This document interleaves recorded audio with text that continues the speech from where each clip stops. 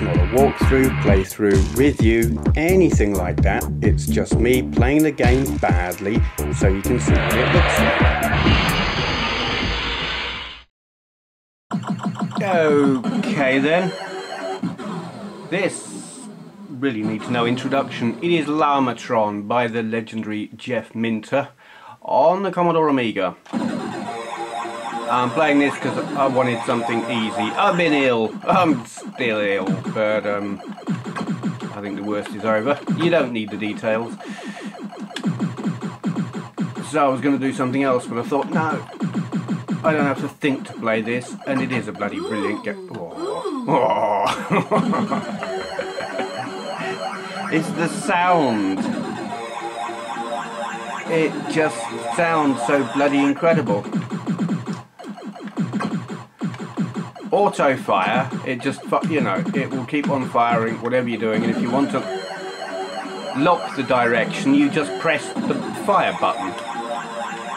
So you can play in the same way as you would have played um, Robotron more or less you know. It's, it's a good way of playing with a, a twin stick type game when you haven't got twin sticks. It's clever. It works.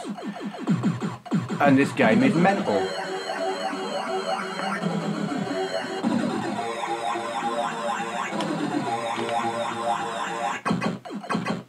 power-ups and weird crap. Oh, oh yeah. Come here, you. Oh.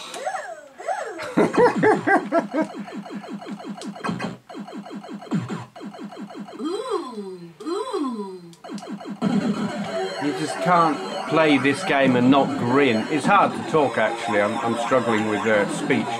But, oh god I love this. Oh, you bastard.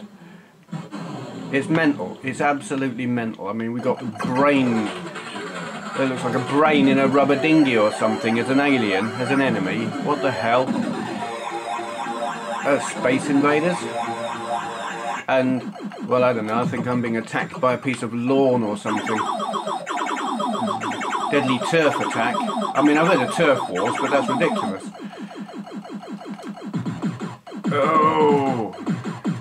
Come here. Come here, little goatee. Ah! Yeah. It is occasionally, oh god, tricky to know what's the enemy and what you're meant to be grabbing, but... Uh, come, oh. Yeah. But it's, it, it Ah, words failing. Oh my goodness, what the hell? Whoa! Yeah, it's getting harder now. It's initially quite... Oh, oh, oh, bollocks. Well, it starts off survivable and then just gets demented. Ah! Oh, God. No, no, no, no, no, no. Oh, God. Oh, you bugger. Yeah, I love this game. If you have not... It's on various different... It's on different... What the bloody hell?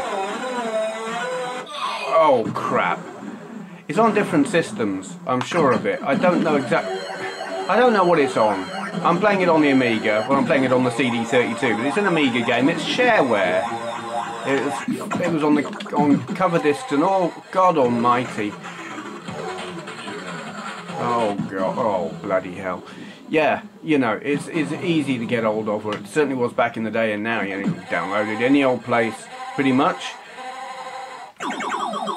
And, oh, yes, if it's on your system, I know it's on the Amiga, it's probably on the ST. I have a feeling it was on some of the 8-bit systems as well. I might be wrong, I don't know. But it's, it's just bloody awesome. Um,